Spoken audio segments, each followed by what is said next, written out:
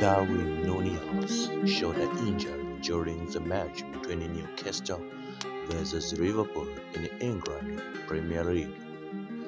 Darwin Nunez scored first goal of Liverpool in the 10 minutes in the first half. This goal made the lead of Liverpool before Gakpo scored in the 70 minutes of the first half, but he got an injury of shoulder during the match between them and Newcastle in the England Premier League game.